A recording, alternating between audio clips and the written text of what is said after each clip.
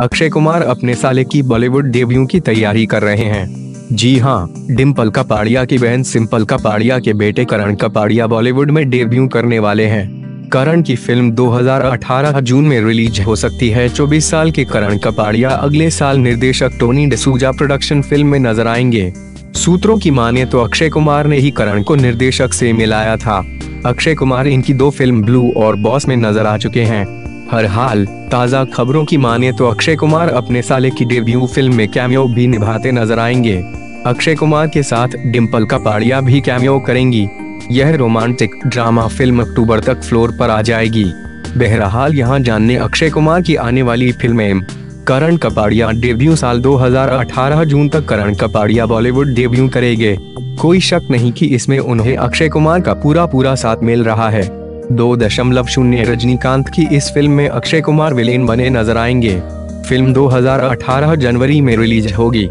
Salman Khan, Karan Johar production film Salman Khan, Karan Johar के production film में अक्षय कुमार होंगे, जो कि सारागढ़ी के युद्ध पर आधारित होगी।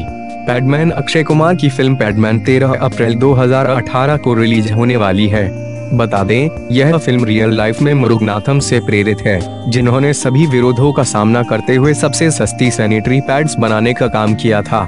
गोल्ड गोल्ड रीमा कागती के निर्देशन में बन रही फ़िल्म गोल्ड में अक्षय कुमार को फाइनल कर लिया गया है। इस film Akshay hockey coach Balbir Singh की भूमिका में नज़र आएँगे।